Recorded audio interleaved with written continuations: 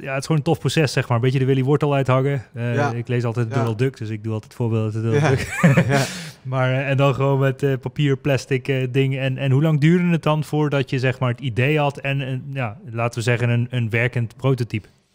Ehm, nou, dat, dat, dat, daar verkijk je op eh, als uitvinder. Eh, om mezelf even op dit moment zo te noemen. Maar je, je hebt een idee en eh, dat wil je eigenlijk ontwikkelen tot iets fysieks. Dus die, dat gaat van eh, een papieren tekening tot een papier prototype... tot eh, hoe je het ook, van welk materiaal je het ook wil maken. Ehm, en dan moet je het ook nog eens commercieel maken en ook nog een hit maken.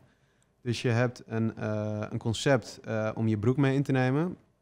Dat, dat is je idee. Nou, dat kan je dan enigszins uittekenen. Maar goed, dan, dan eh, gingen we dat fysiek maken. Eh, je wilt al snel dat eh, het er goed uitziet, dat het dun is. Want, want als je je broek inneemt, de, meeste luisteraars die zullen vast denken... komt er dan geen rare plooi in je broek of iets? Klopt. Dus daar ben je heel erg gefixeerd op dat dat er goed uitziet. Het moet, nou, Buckle staat voor premium design, user simplicity en understated fit comfort. Dus het moet lekker zitten, je moet het makkelijk kunnen gebruiken en het moet er goed uitzien. Ehm, maar daar ben je aan het begin nog niet helemaal mee bezig, want je bent echt aan het, aan het klooien. Hoe gaat dit in zijn werking? Je bent het concept aan het uitdenken. Dus eh, wij dat concept uitdenken. Eh, Jaspers eh, technische kennis, mijn design daarop toepassen. En eh, toen al vrij snel kwamen... Wij hebben toen bij een vriend, sorry, hebben, hebben eh, een digitaal design gemaakt.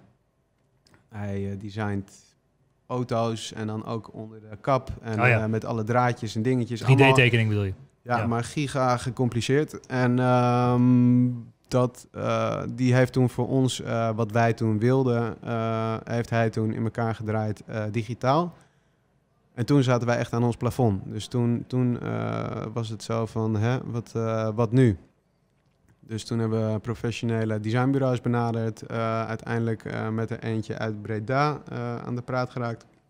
Die ehm, heeft dat toen opgepakt. En daarmee ehm, eh, hebben wij onze daar hebben wij onze kwesties neergelegd. Dus een, een product wat easy to use is Mhm. en comfortabel zit, dat moet ook gelijk universeel zijn. Want we willen het simpel houden, we willen één product en het moet perfect zitten voor iedereen, dus het moet verstelbaar zijn. Nou, dat is dus eh, eigenlijk al de eerste valkuil. Want eh, dit product verstelbaar maken eh, kwam uiteindelijk eruit, en ik citeer, dat het lastiger was dan het ontwerpen van een elektrische vrachtwagenmotor, wat dat bedrijf ook doet. en the is, ja, dus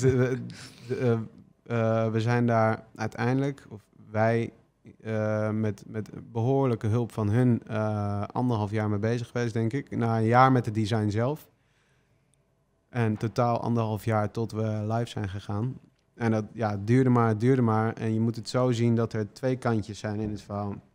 En dat eigenlijk ook met mij en Jasper. En eigenlijk met alle perfecte duo's. Of tenminste eh, succesvolle duo's. Je moet een soort van tegenpolen hebben met, een, met een, wel eenzelfde visie. Ja. En eh, eh, nou, bij, bij dit bedrijf was het dat zij willen dat het technisch goed werkt. Nou, wij willen dat natuurlijk ook. Maar zij zijn er om de, de techniek te doen. En wij om het, ja, eh, voor het oog, op het, om het optisch wat eh, strak te houden. En, en je wil hem eh, lekker dun hebben en je wil hem klein hebben. En je wil, maar het moet wel allemaal doen wat het designbureau wil. En dat is dus eh, lastig, want eh, als het aan het designbureau ligt en je kijkt even maand de andere kant op, dan, dan eindig je met zo'n blok op je been wat, wat perfect werkt, maar er niet uitziet. en als, je het aan ons, eh, als het aan ons ligt, dan wordt het allemaal te, te fragiel en te dun. En, eh, dus, dus je moet dat heel goed combineren en heel goed zorgen dat je blijft communiceren tussen die twee partijen, totdat je een product krijgt waar je allebei tevreden over bent. En zij hoefden uiteindelijk nergens mee tevreden zijn. eh, maar ze, ze moesten wel natuurlijk iets afleveren waar wij om gevraagd hebben. En wat dus eh, doet wat, wat wij ze hebben gevraagd. En dat was dus die techniek goed krijgen. Ja. Dus eh, we willen allemaal hetzelfde. en daardoor moet je een goede compromis tussen beide kanten vinden. Wauw. Maar dus tussen idee en, en echt, laten we zeggen, consumenten schaalbaar prototype ben je dus toch al, ja, in jullie geval misschien wel anderhalf, twee jaar verder. We zijn op dit moment zijn we twee jaar verder. Ja. En eh, er wordt zelfs nog compromis gevonden tussen eh, eh, het, design wat we hebben ingeleverd en wat, wat schaalbaar is.